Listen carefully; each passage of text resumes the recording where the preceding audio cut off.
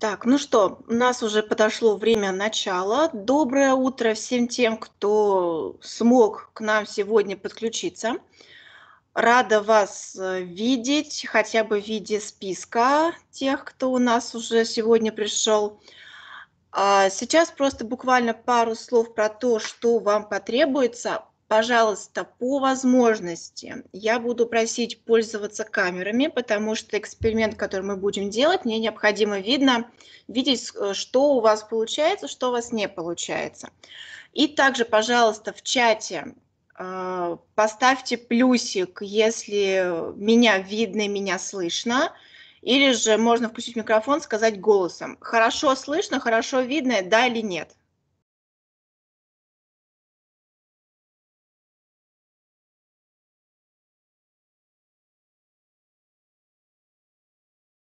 Мгм. Так, увидела, спасибо.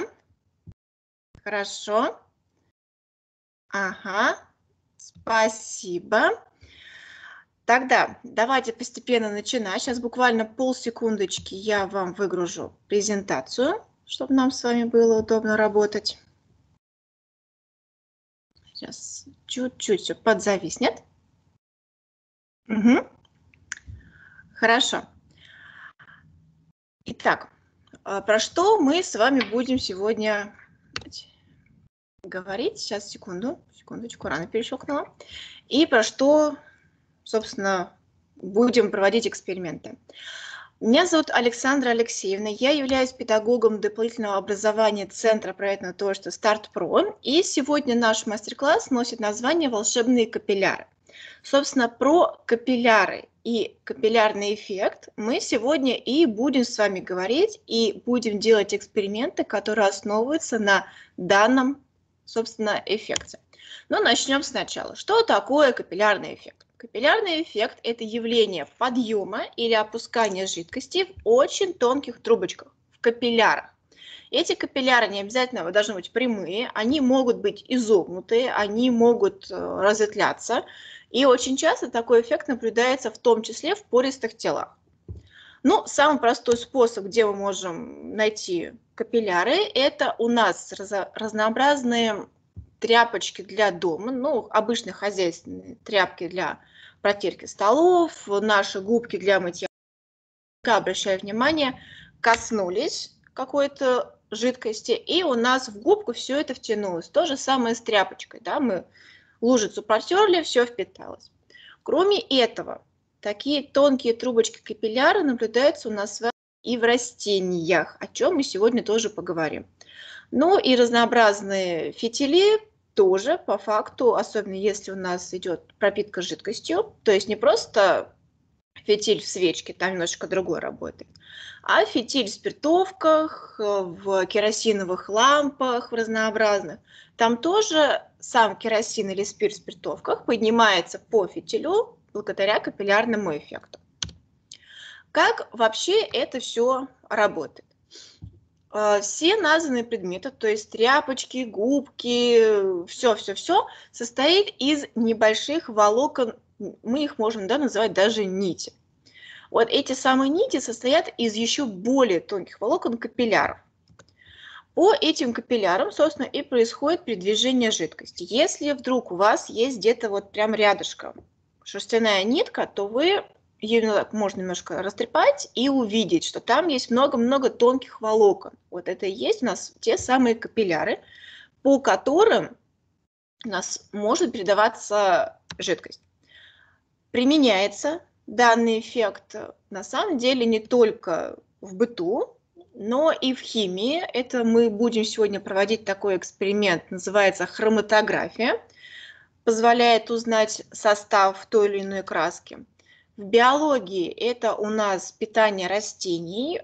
А, думаю, что вы уже знаете у меня, что а, э, через корни питательные вещества из почвы попадают в растения. Вот, собственно, когда питательные вещества корнями всасываются и передаются вверх по стеблю, это и есть капиллярный эффект. В маркетинге, то есть в продаже, это у нас окрашивание цветов в разнообразные цвета. А, наверняка видели в продаже синие орхидеи. В природе они не существуют, но их можно найти. На самом деле просто взяли краску, использовали капиллярный эффект и из белой орхидеи сделали синюю. Также знаменитые радужные розы тоже получаются благодаря капиллярному эффекту. Ну, в быту у нас, как я уже сказала, это тряпочки, это губки, это любимые многими капиллярные ручки или же капиллярные фломастеры.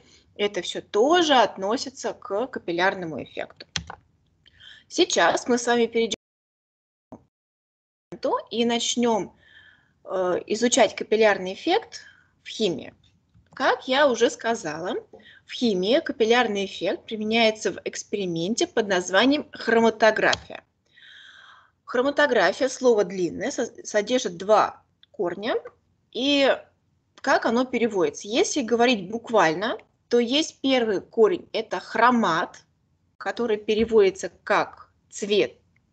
И второй корень – это граф, от слова графо, что означает пишу. То есть буквально получается цвет пишу, цветопись. Благодаря хроматографии мы можем разделить и проанализировать, то есть узнать, что есть, чего нет, смесь веществ, а именно окрашенных веществ. То есть мы берем чаще всего какую-то краску или краситель, проводим хроматографию и узнаем, какие пигменты были в эту краску добавлены. Э, суть на самом деле очень проста. У нас есть две так называемые фазы. То есть что-то неподвижное и что-то подвижное. Вот неподвижная фаза называется еще носитель, а подвижная фаза по-научному называется элюент, но в нашем случае это будет растворитель. Как, собственно, происходит данный эксперимент? Мы берем носитель, то есть неподвижную фазу, наносим краситель, опускаем носитель с красителем в растворитель, то есть получается такая вот скороговорка, чуть-чуть ждем, и получается примерно такой эффект. То есть, что можно узнать? Многие знают, что зеленый цвет можно получить, смешав синий и желтый. Это верно. И мы можем, проведя хроматографию, узнать, действительно ли в данном зеленом красителе использовали синий и желтый цвет, или же взяли уже какой-то отдельный зеленый краситель, который был зеленый исходно. Делается на самом деле легко. Сейчас вам расскажу, как делается, а потом вместе с вами мы этот эксперимент проведем. Итак, что нам нужно будет сделать? Секундочку. Ай, простите, подвисло немножко. Итак, в качестве носителя нам подойдет бумажное полотенце, бумажный платочек, салфетка. В моем случае будет фильтровальная бумага. Если у вас есть бумажное полотенце, салфетка, на крайний случай даже кусочек туалетной бумаги плотный подойдет, можно подготовить. В качестве растворителя мы будем использовать воду, но если вы это делаете в лаборатории, вы можете использовать такие растворители, как спирт или ацетон – в качестве красителя мы возьмем обычные фломастеры. У меня вот их много. Лучше брать, честно скажу, темные или насыщенные цвета. Чаще всего производители именно в них добавляют второй или третий цветной пигмент. Но также подходят текстовые выделители, но не светло-желтого цвета, а вот то, что более темное. Итак, как будем делать? Сначала нам нужно будет отрезать от носителя полоску, потом поставить либо точку, либо линию на этом носителе, в нашем случае бумажное полотенце или просто какой-нибудь бумажный, ну, хотя бы даже на свой платочек. На самом деле нет особой разницы, ставите вы точку или делаете вы линию. Главное отступить от нижнего края немного. Потом в емкость, в нашем случае будет обычное блюдце, наливаем растворитель, то есть воду, и опускаем. Мы опускаем только самый нижний кончик нашего носителя так, чтобы то есть краситель не попал под воду. И ждем. Благодаря капиллярному эффекту вода будет подниматься по волокнам нашей бумаги вверх. Когда она дойдет до красителя, она его с собой захватит и будет подниматься вместе с ним.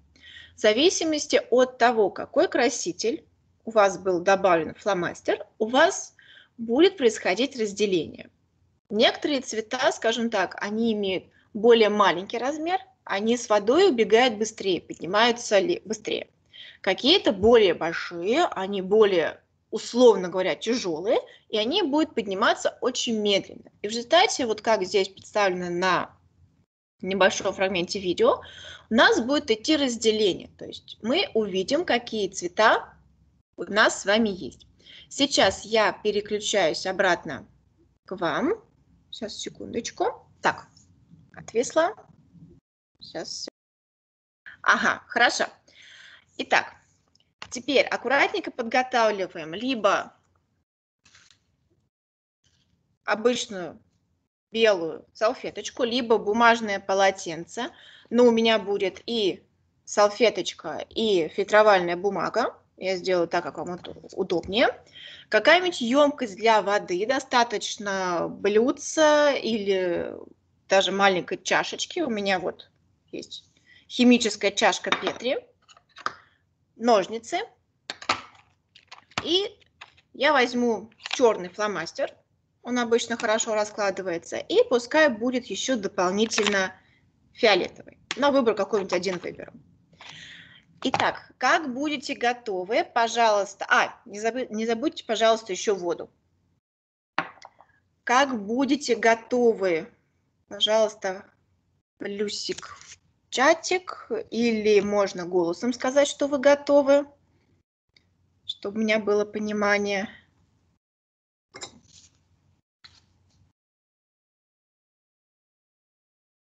Угу.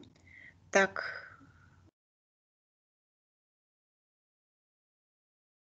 Есть, есть, готово. У меня просто, ребят, немножечко вы все подвисли. Можете, пожалуйста, в чате плюс написать. Ага, спасибо. У меня, видимо, что-то сегодня с интернетом. Ага, спасибо. Итак, первое действие, что нам нужно сделать? Нам необходимо отрезать достаточно широкую полоску от нашего носителя. Для ориентира я обычно беру два своих пальца, указательный и средний, и вот такой ширины отрезая полоску. Она не должна быть короткой, она должна быть достаточно длинной. Если вы используете салфетку, и она у вас многослойная, вот вы эти слои не разбираете, вы их оставляете. Итак, аккуратненько отрезаем от вашего носителя полоску шириной примерно в два ваших пальца. То есть примерно вот такую. Сейчас быстренько это сделаю.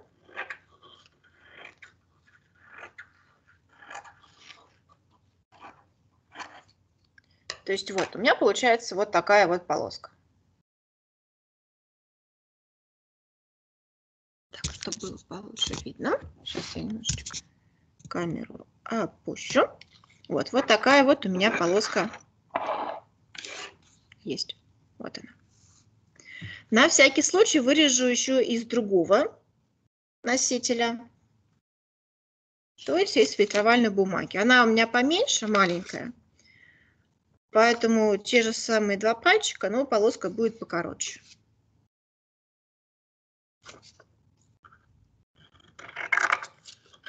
Если получается чуть-чуть где-то что-то неровно, то, ребятки, это не страшно.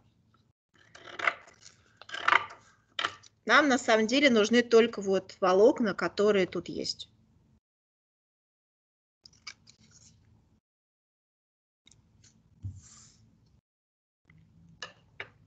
Так, у меня есть носителя. Итак, ребят, кто еще готов а, либо голосом, либо, соответственно, в чатике поставьте плюс. Голосом тоже можно, чтобы мне тоже было удобно ориентироваться. Так, да, слушаю вопрос. Даниил, ручку подняли, да. Так. Это я сказал, что я готов так. А, готов? Хорошо. Кстати, да, действительно, можно ручку поднимать и так показывать, что вы готовы. Итак, ну-ка, что у нас там еще пишут? Ага, хорошо. Отличненько. Итак, теперь я беру свой краситель Угу, спасибо. А, давайте я на одном носителе сделаю черный цвет, на другом фиолетовый. Соответственно, может быть любой насыщенный цвет. Можно взять зеленый. Кстати говоря, у меня и зеленый тоже есть. А, иногда э, срабатывает с серым красителем, но здесь должен быть именно темный серый фломастер. И коричневый, забыла про коричневый сказать. А, коричневый э, фломастер тоже хорошо разделяется. Итак, выбираем краситель, который вы будете использовать. В нашем случае, ну, пускай у меня будет коричневый и черный. Вот так. Отступаем от нижнего края, то есть ваши полосочки положите вертикально. Так, у меня одна очень длинная не влезает. Отступаем мизинчик от нижнего края. Прям вот так мизинчик можно приложить и ставим либо хорошую толстую точку, только пробейте бумагу, либо проводим линию на вашем носителе. То есть примерно мизинчик отступаем, проводим линию. То есть у меня получилось вот так. Это первый носитель. Ну а на втором я сделаю другого цвета. Если у вас тоже есть несколько вариантов, вы можете попробовать использовать, допустим, ту же самую салфетку, только несколько фломастеров. Пожалуйста, это тоже можно сделать. А тут я, пожалуй, поставлю точку. Можно точку, можно, соответственно, линию. Как вам уже удобнее будет. Итак, аккуратненько делаем отметку. Не забудьте отступить от нижнего края мизинчик, ребят, потому что совсем в край ставить нельзя. Опыт может не получиться. Итак, аккуратненько отступили от нижнего края мизинчик, поставили либо линию, либо точку, как вам уже удобнее, то есть вот, вот так у вас получается. После этого берем блюдце, куда наливаем, ребят, здесь важно немного воды, именно чуть-чуть. То есть буквально закрываем донышко блюдца водой, вот так.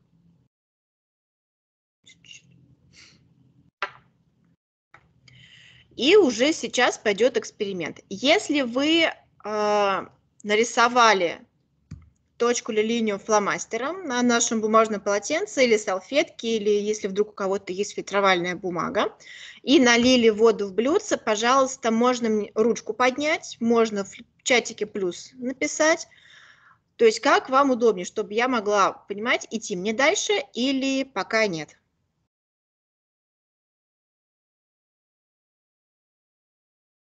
Угу, увидела. Спасибо, Даниил. Ага, Ольга, увидела. Спасибо.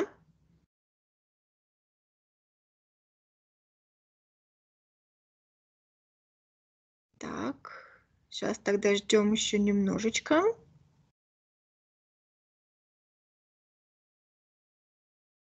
Угу, Тимофей увидела. Хорошо. Угу. Ну, тогда постепенно идем. Итак, наша задача сейчас коснуться нижним краем нашего бумажного полотенца, салфеточки или что у вас на выбор и не утопить нашу линию или точку. Коснулись и держим. У вас вода сама будет подниматься постепенно и сама все сделает. Если у вас очень длинная полосочка, то краешек можно будет потом перекинуть вот так вот на стол. Итак, сейчас где-то поближе-то будет. Коснулись и держим. Вы увидите, как у вас постепенно вода будет подниматься вверх. Она будет идти сама, ей не нужно помогать. Так, аккуратненько коснулись, держим, держим, держим, держим. Сейчас для удобства. Перекину. Если вы перекидываете, то пронаблюдайте, чтобы у вас ваша отметка не ушла под воду. Вот у меня здесь первый идет. И второе, я вот сейчас на камеру так будет более видно. Аккуратненько коснулась. И держу. Вы, вот сейчас надеюсь, что видно на камере, что у меня постепенно вода поднимается вверх. и вместе с собой она захватывает еще и краситель. То есть у меня из точки постепенно вырастает такая длинная-длинная дорожка. Уходит, правда, куда-то в сторону чуть-чуть, но это не страшно. Вот. На салфеточке там тоже идет постепенное разделение. Ну, кажется, она у меня упала вниз. Сейчас мы чуть-чуть ее подправим.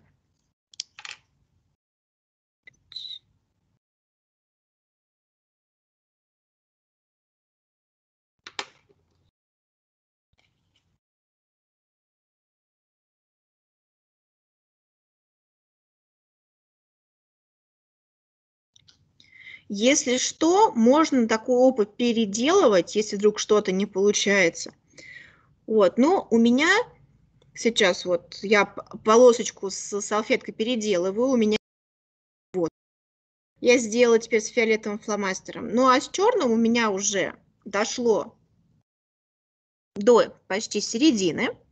И надеюсь, что на камеру видно, что у меня получается из черного фломастера несколько цветов. А, вот лично я вижу, что у меня сверху получился голубой, внизу получился фиолетовый, а посередине еще он такой черно-коричневый. То есть там, вроде как на камеру тоже видно. Из фиолетового, который сейчас у меня делается на салфеточке, у меня получается тоже разделение. То есть видно, что в этот фиолетовый добавили розовый и голубой цвет. То есть получается вот примерно вот так.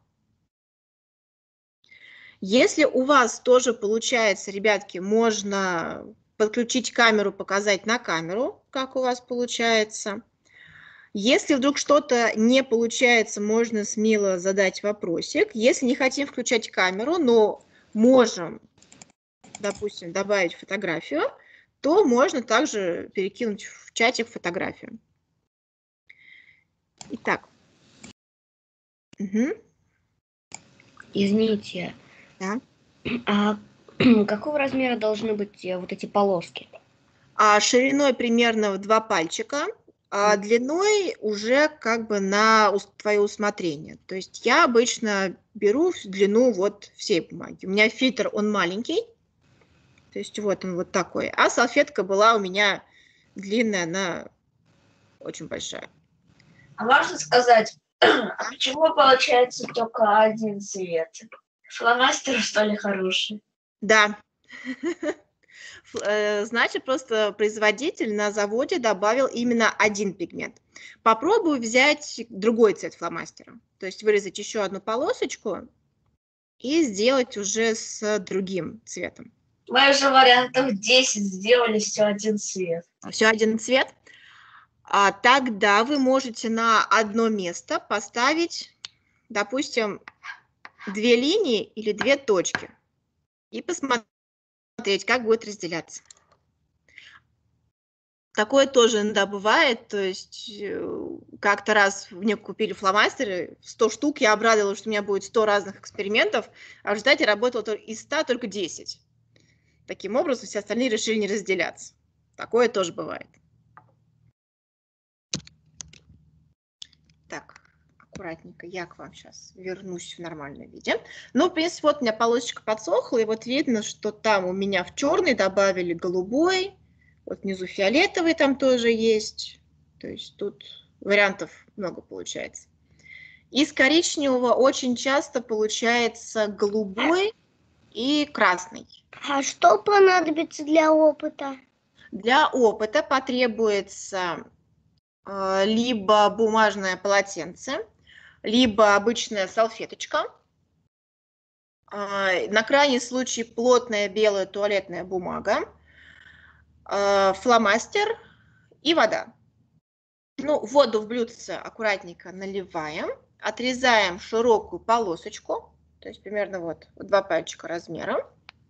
Отступаем от нижнего края мизинчик, ставим либо точку либо проводим линию и нижним краем нашей бумажной полосочки касаемся воды и просто ждем. По капиллярам бумаги вода будет подниматься вверх и захватит с собой краситель. То есть получается примерно так. Так, ребятки, у кого-нибудь еще получился опыт? У меня получился, смешал желтый, красный, зеленый фломастер.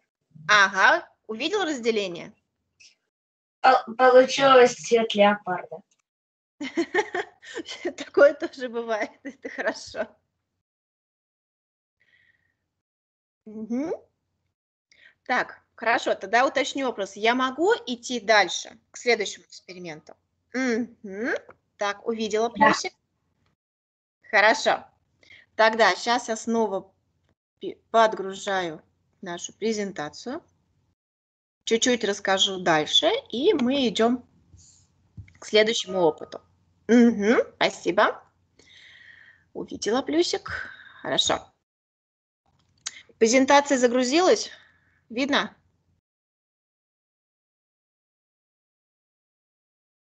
Будем считать, что получилось. Видно? Ладно, будем считать, что да. Итак, как мы уже увидели, у нас в некоторых видах бумаги бывает очень много капилляров. И сейчас у нас тоже будет опыт с бумагой и капиллярами именно в... Что нам потребуется? Нам потребуется сейчас обычный листочек. Можно взять А4, можно взять цветную бумагу, то есть не плотную, в которой ну, обычно вставляется в принтер. Очень хорошо она подходит. Затем нам потребуются ножницы, блюдце с водой, которое у вас осталось с того эксперимента, его тоже можно использовать дальше, вода и чуть-чуть фантазия. Итак, еще разочек. Обычная бумага, вот у меня обычная для принтера бумага есть, можно взять цветную, тут не принципиально, главное не картон и не акварельную бумагу, ножницы, блюдце, вода и чуть-чуть фантазии. Будем делать. Мы на нашей обычной бумаге нарисуем цветок и аккуратненько его вырезаем. Обратите внимание, что в серединке у вас не до конца прорези, что внизу у вас центр должен остаться целым, но лепестки должны быть прорезаны. Затем мы наш цветочек аккуратненько закроем в бутон, то есть все лепестки закроем внутрь. Немножечко воды в блюдце нальем. Можно использовать ту воду, какая у нас еще осталась. Если только она у вас не окрасилась от фломастеров. Если окрасилась, то лучше поменять. Э, Можно даже чуть-чуть добавить воды, если у вас совсем мало. Опускаем наш бутон и просто будем наблюдать, что должно происходить. У нас в даже такой бумаге, которая более плотная, тоже есть капилляры.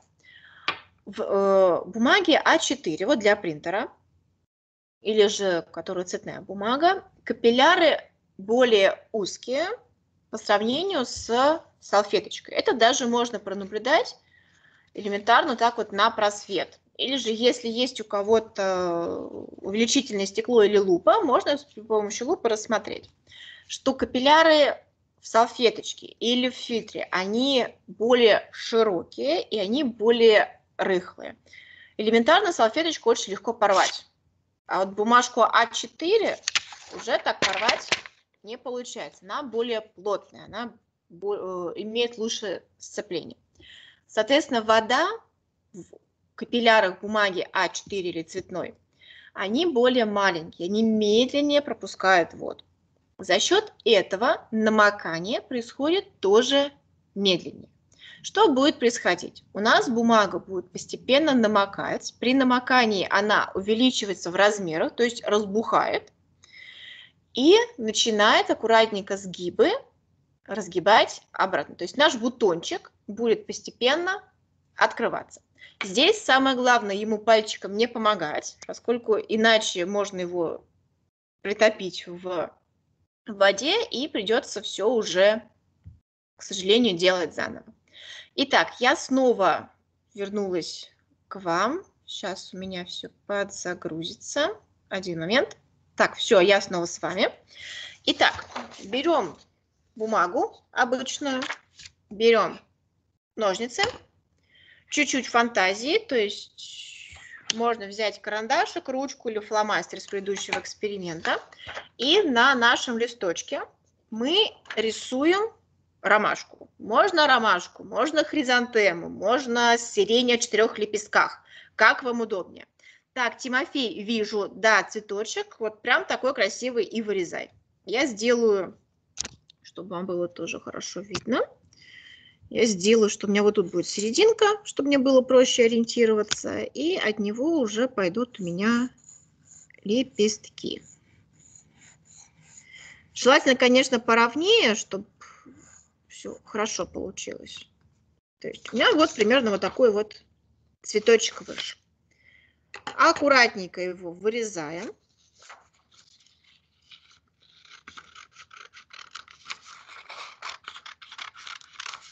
Если хотим такой эксперимент сделать, допустим, после школьных каникул в классе, то можно в интернете найти шаблоны цветов и прямо распечатать много-много этих шаблончиков на бумаге. Так получается удобнее, они, конечно, будут более симметричные, более ровненькие, но зато наши будут более симпатичные, они более творческие цветочки. Если есть под рукой карандаши, можно раскрасить карандашами в разные цвета. Тут, как говорится, если у вас все получается делать быстренько, то можно сделать цветной. Если вдруг хотим раскрасить, но чуть-чуть не успеваем, это не страшно, потому что данный опыт легко делается дома, как вы уже убедились. И поэтому в любой момент вы можете его повторить.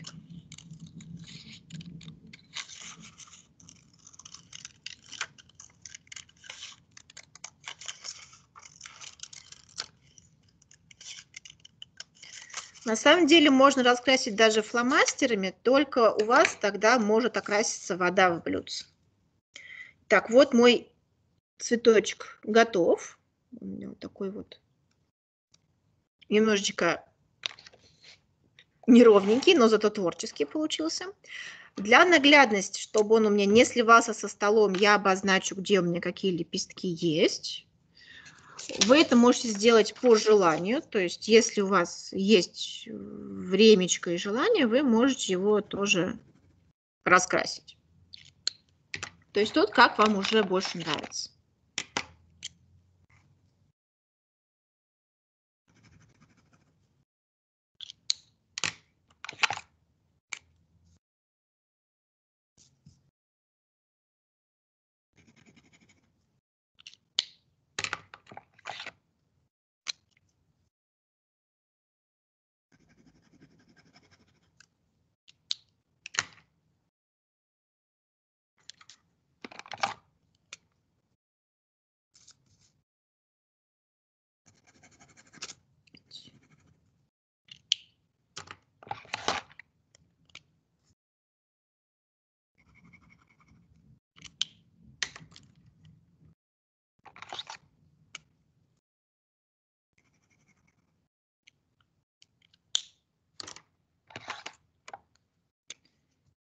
Меня он почти готов. Если вы готовы, то вы можете показать либо на камеру, либо поставить ключик. Сейчас все объясню, как согнуть. Не переживайте, сейчас до этого дойдем. Итак, вот мой цветочек. Стал хоть чуть-чуть поярче. Вот он такой вот. И если вы готовы, то теперь смотрите, как загибать лепестки. Вы берете один лепесток, аккуратно загибаете его внутрь, изгиб хорошо проминаете. Потом берете следующий, соседний, его загибаете на него же, вот так вот сверху. Сейчас как-нибудь так, чтобы не отсвечивало, вот так вот сделаю, вот. Потом третий лепесточек, туда же. Не забудьте все сгибы хорошо продавить, чтобы они у вас сразу не открылись. И вот так по кругу все лепесточки мы загибаем внутрь. То есть у нас должен получиться, ну, примерно вот такой вот бутончик. Он будет выглядеть как таблеточка. Чтобы проверить, хорошо ли вы согнули сгибы, можно так его положить на стол и подождать. Если он сам не раскрывается, значит все хорошо. Если вдруг он у вас начал раскрываться, то вы еще разочек все сгибы проминаете. Только главное лепестки не порвите. Ну, получается вот такая вот таблеточка. Итак, еще разочек. Вы все лепестки по очереди загибаете внутрь. То есть вот, я сейчас раскрою его, чтобы было поудобнее. Так, вы берете первый лепесточек, загибаете его в серединку, согнули. Потом второй, к нему же, третий, к нему же, четвертый. И постепенно, вот таким вот образом, у нас получается бутончик. Если готовы, можно дать сигнал ручкой, можно написать плюсик, можно голосом сказать, что вы готовы.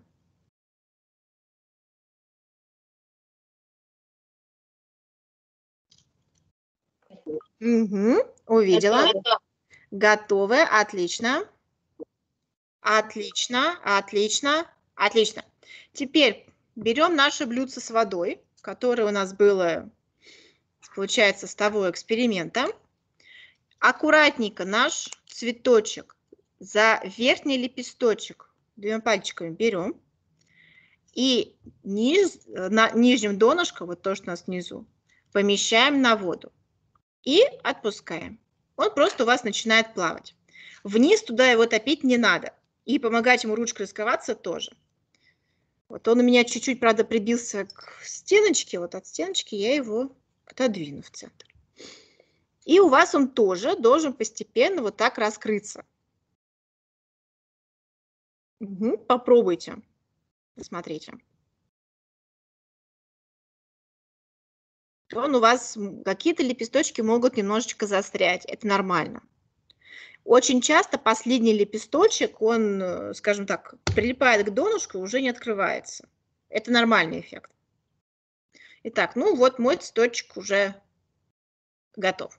Я сейчас его аккуратненько вытащу, чтобы он у меня до конца весь не утоп. Потому что когда он высохнет, его можно заново сложить и снова отправить такое раскрытое плавание.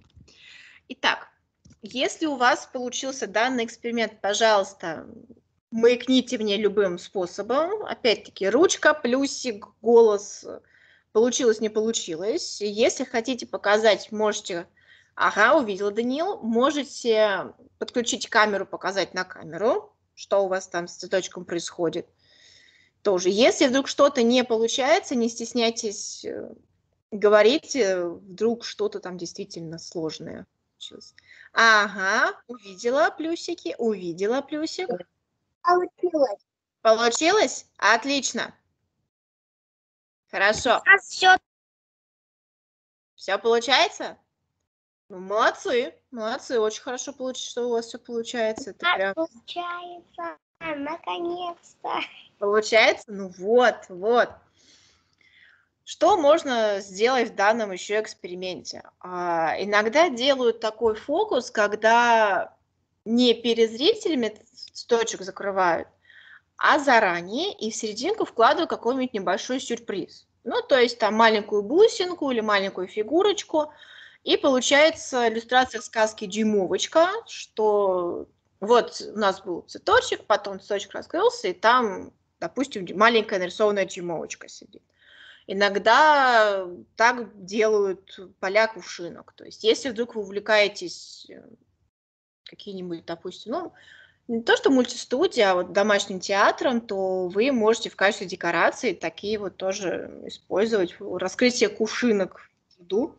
Ага, вода стала черной. А это могло окраситься от фломастера, потому что вот я чуть-чуть тоже тут водичку добавив, в фломастер попала, и она окрасилась. Это не страшно. Это абсолютно нормальный эффект. А, иногда бывает, когда окрашивается еще на первом эксперименте, вот на первом эксперименте это уже не очень хороший результат, что вода окрасилась. А если после цветочка она окрасилась, то это абсолютная норма. Такое часто бывает, это, это все в порядке. Итак, ну что, тогда, дорогие мои, я продолжаю рассказывать тоже про наши капилляры и капиллярный эффект. Так, сейчас у меня все подзагрузится, подзагрузится. И вроде как загрузилось. Итак, третий эксперимент у нас уже требует небольшого количества времени. Что нам потребуется? Наше блюдце с водой и цветочек можно аккуратненько отложить в стороночку, он уже не потребуется. Вам потребуются стаканчики, именно вот стандартные обычные стаканчики или же емкости, где вы моете, моете кисточки, их нужно несколько штук. На крайний случай можно попросить кружки, из которых в этот день никто пить не будет. То есть тут за этим нужно проследить. Потребуется вода, красители. Если нет красителей, можно использовать э, краски, но тогда нужно будет побольше краски намешать. Бумажные платочки или салфеточки. Итак, еще разочек. Потребуется стаканчики, обычные или же на крайний случай кружки, вода, пищевые красители. Если нет пищевых красителей, то подойдет краска, бумажные платочки или салфетки. Так, даю чуть-чуть времени на то, чтобы все найти.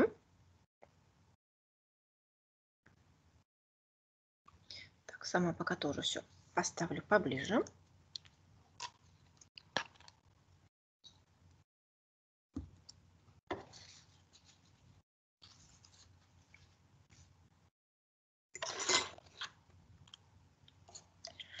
Итак, ну, если что, потом дам времечко. Итак, что мы будем делать? Нам необходимо будет в часть наших стаканчиков налить воду и добавить пищевой краситель. Причем делаем как? Мы расставляем стаканчики в ряд, чередуем пустые стаканчики и заполненные. То есть, допустим, в первый стаканчик воду наливаем, второй пустой, третий с водой, четвертый э, пустой, пятый заполненный. Обязательно нечетное количество. Если будет четное количество, то опыт может длиться чуть-чуть дольше, но тоже он у вас получится. Затем из салфеток мы с вами сложим мостики. Один конец мостика мы опустим в подкрашенную воду, второй кончик мы опустим в пустой стакан. И в результате у нас вода будет подниматься по капиллярам нашей с вами э, бумажки, то есть в нашем случае бумажная салфетка или бумажное полотенце, вместе с водой будет подниматься краска или пищевой краситель. Когда закончится салфетка, когда она вся промокнет, краситель будет продолжать идти вниз, то есть он будет скапливаться у вас в пустом стаканчике. В результате вы увидите эффект вот как на экране, что у вас краска постепенно э, переходит в пустой стаканчик и происходит смешивание. То есть для примера я брала желтый и синий краситель, у меня в центре получился зеленый.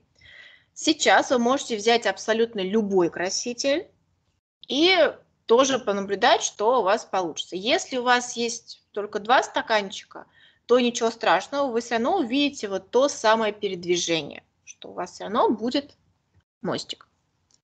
Итак, я снова возвращаюсь к вам, чтобы у нас, ага, так, высохнет, а цветочек, цветочек высохнет. Итак, аккуратненько подготавливаем стаканчики. Вот у меня два стаканчика с водой, один стаканчик пустой, две салфеточки и две краски. То есть у меня вот есть красный и синий пищевой краситель. Итак, как будете готовы, маякните, пожалуйста. То есть ручкой помашите, плюсик поставьте. Можно не плюсик, можно какую-нибудь реакцию тоже поставить. Что вы готовы, что я могу уже идти дальше. Ага, вижу.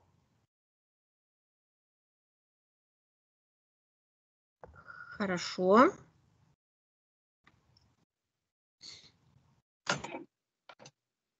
Угу, готовы. Отлично. Угу. Угу. Так. Еще дать кому-нибудь времечко на подготовку?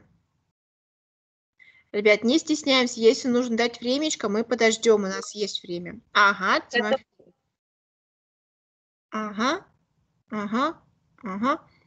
Даниил, как у тебя? Все готово уже. Готовы? Хорошо.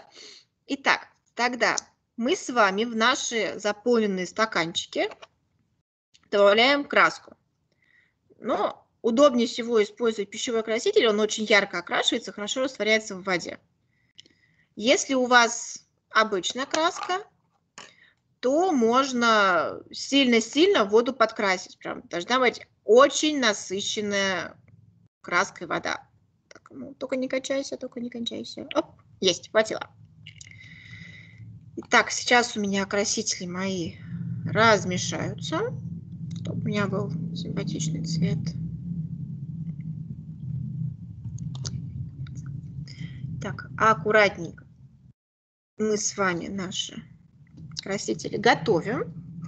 Размешайте воду, чтобы у вас цвет был насыщенный. Он должен быть прям яркий.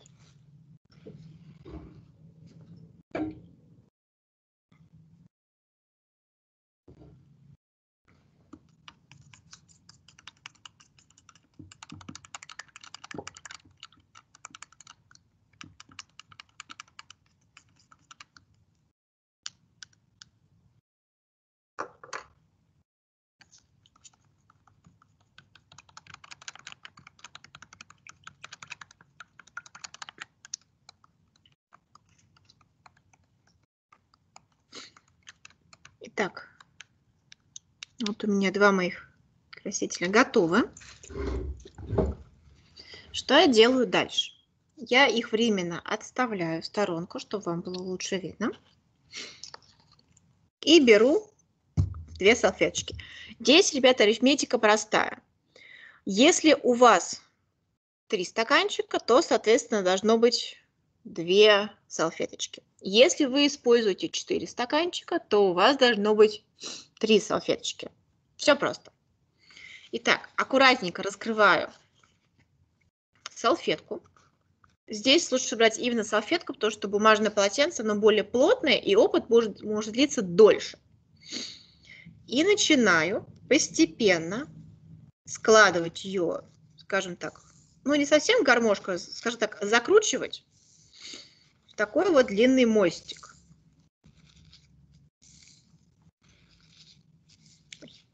Если чуть-чуть получается неровно, это не страшно. Главное, чтобы у нас все было сложено плотно. Так, вот у меня получился мостик. Со второй салфеткой делаю то же самое.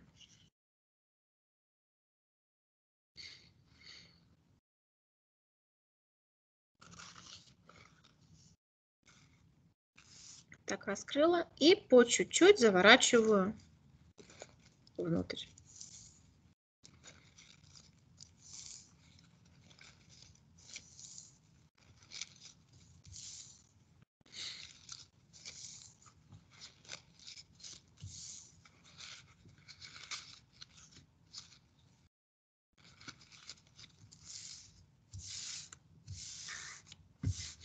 Так, два моих мостика готовы.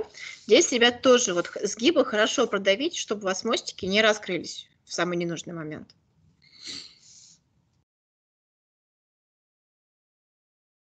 Так, как будете готовы, тоже как-нибудь маякните.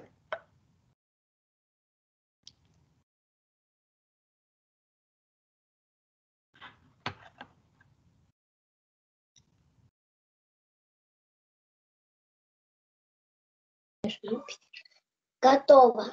Отлично, хорошо. Готовы. Хорошо, хорошо. Угу. Теперь берем наши окрашенные стаканчики. Не забываем в центр поставить пустой. И мостик мы с вами аккуратненько сгибаем. Примерно вот так. То есть, смотрите, лучше, чтобы самая длинная часть у вас уходила в окрашенную воду, а более короткая была сверху. Аккуратненько опускаем. Если что, можно согнуть и там внизу тоже притопить. И тоже эть, не убегаем, не убегаем. И то же самое делаем со второй стороны. Чуть-чуть согнула, опустила, пускай, пускай, пускай, пускай, пускай. И кончик у меня ушел внутрь. Итак, что будет происходить? У меня на самом деле уже вот сейчас краситель постепенно идет по салфетке от красного цвета. Вот на камеру пока это не знаю, насколько видно, но у меня сейчас где тут тень создать. Вот так, наверное. Чуть-чуть уже и синий краситель тоже пошел пропитываться. То есть вот, если присмотреться, то там это есть. Здесь на самом деле по большей части нужно будет уже просто ждать. То есть у вас э, вода будет смачиваться, подниматься по капиллярам, благодаря капиллярному эффекту по бумаге и передаваться из окрашенного стаканчика в пустой. Если делать это с небольшим количеством, то опыт может занять до 15 минут. То есть это абсолютно нормально. Нам сейчас самое главное увидеть, чтобы у нас хотя бы первые капельки попали в центральный стаканчик. Иногда у нас цвет идет очень плохо, то есть иногда у нас идет только вода. Такое тоже бывает. Это случается, если краситель, скажем так, тяжелый, большой по размеру, это ничего страшного. То есть тут, как говорится, опытным путем можно выяснить, какая, какой краситель подходит, какой не подходит, какой хорошо передается, какой капризничает. Лично у меня ушло 5 экспериментов, чтобы понять, что гуашь, который есть у моей сестры, она подходит для опыта. Гуашь, который стоит у меня дома, не подходит для опыта. Такое тоже бывает. Самый, конечно, простой способ – это пищевые красители, поскольку у них очень хорошая растворимость, это раз, то есть они легко растворяются. И, во-вторых, они очень хорошо окрашивают не только воду, но и руки, и краситель очень хорошо передается. То есть вот у меня уже по чуть-чуть, по чуть-чуть уже синий подходит к финалу. Вот по камере тоже видно, что у меня уже одна салфетка окрасилась, а вот красный уже где-то вот застрял. Это тоже нормальный эффект. Такой тоже бывает. Мы можем сейчас эту схему, эту установку оставить в покое, чтобы вот она у нас стояла, эксперимент постепенно шел. А мы можем с вами обсудить еще один вариант использования капиллярного эффекта. Это то, как вы можете создать на любой праздник очень необычный и яркий букет. Для этого потребуются, правда, живые цветы. Лучше всего использовать цветы белые, то есть это могут быть белые тюльпаны, белые ромашки, белые хризантемы, белые розы. Скажу честно, один раз у меня ученик сделал такой опыт э, с белой крапивой. То есть у нас есть крапива, которая вас не жалит. У нее есть маленькие белые цветочки. И он провел такой эксперимент вот с такой вот крапивой, которая не кусается, имеет белые цветочки. Если вы вспомните, то у нас в корнях растений, как э, я уже вначале говорила, есть тоненькие трубочки капилляры. По этим капиллярам питательные вещества из почвы переходят, переходят в корни растений. А дальше на этом капилляры не заканчиваются. Они у нас есть не только в корнях, они у нас есть в стеблях. Если вы посмотрите на срез э, стебля, ну, допустим, когда букет покупаете, вот можно снизу посмотреть, то там вы увидите много-много маленьких таких трубочек, э, или на свете они выглядят, выглядят как кружочки или тонкие волокна. Это и есть капилляры. Вот по этим капиллярам питательные вещества из корня передаются в стебель, дальше могут уйти в лист или уйти в бутон, в наш цветочек. Если это какой-то плод, то, соответственно, в плод, допустим, в ягоду. Мы можем используя живые цветы, желательно прям свежие, изменить их окраску. Что делаем? Берем краситель. Вот в случае окрашивания цветов лучше брать именно жидкий пищевой, с ним быстрее всего происходит. Также можно взять чернила, и многие, ну, пока крайней взрослые точно знают, есть еще тушь в баночках. Вот чернила в баночках и тушь в баночках.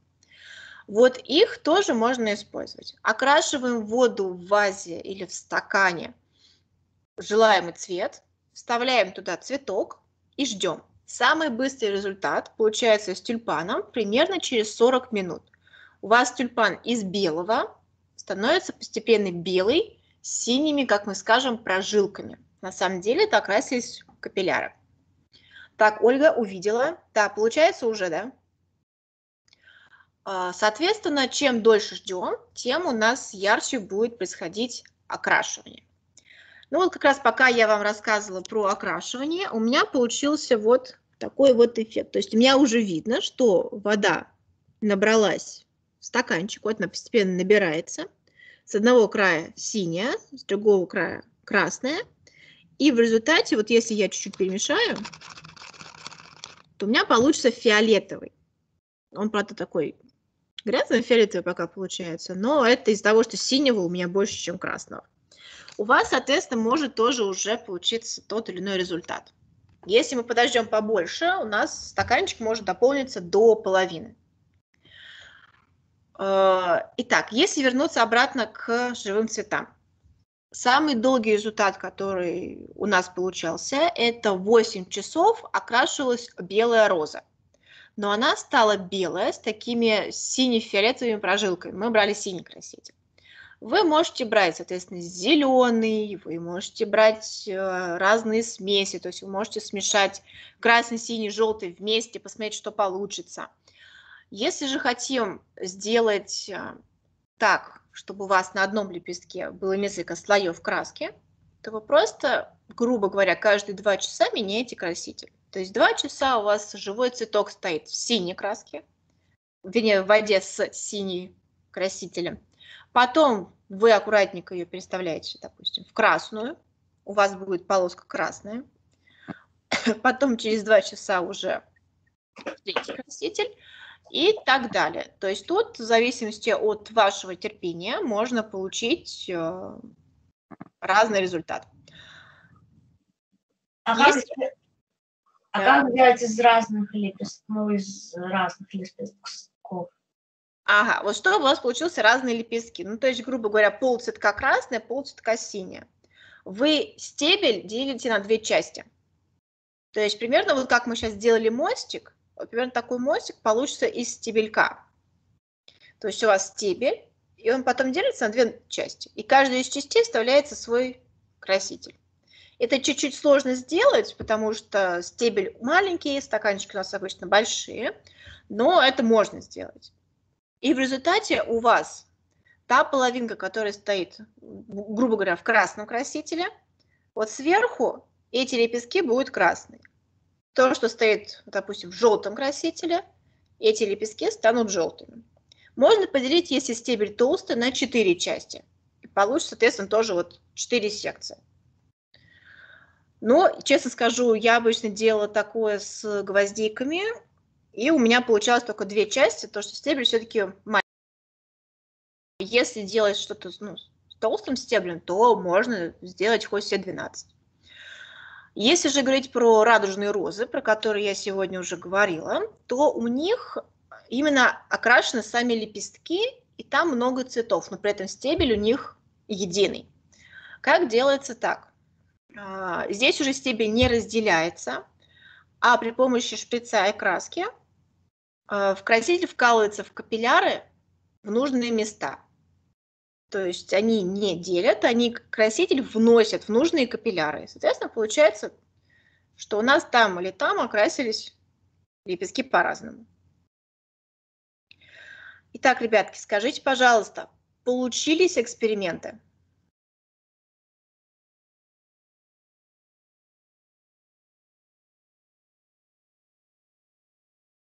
Да, нет. У кого-нибудь еще мостик получился? Ага, так, Даниил, вижу, да. Ага, увидела, да, ребята тоже написали, да. Хорошо. Тогда вопрос к вам. Есть ли у вас еще какие-то... Так, нет, э, с красителем не получился? Тимофей, скажи, пожалуйста, какой опыт не получился? Сейчас разберем. Может, еще разочек сделаем.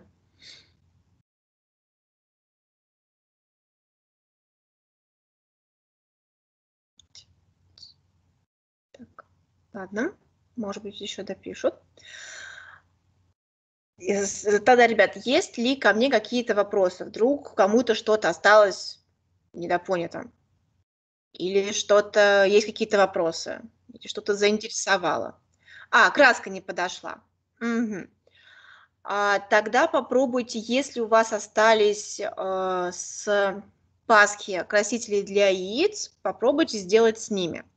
Или же есть еще простые пищевые красители, тоже можно сделать с ними.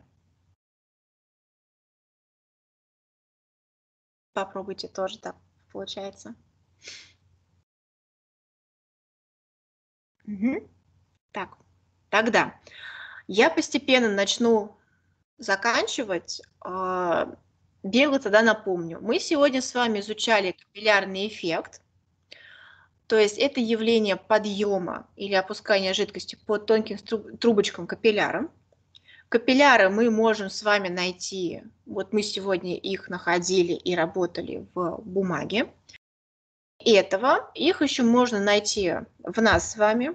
Если вы посмотрите на нашу ладошку, так сильно-сильно руку напряжете, потом расслабите, вы увидите тоненькие такие красненькие капиллярчики. Их также можно увидеть в глазу. Вот если посмотреть сильно вправо или сильно влево, вернее даже попросить кого-то так посмотреть в разные стороны, то вы увидите у краев глаза тоже красненькие такие капилляры.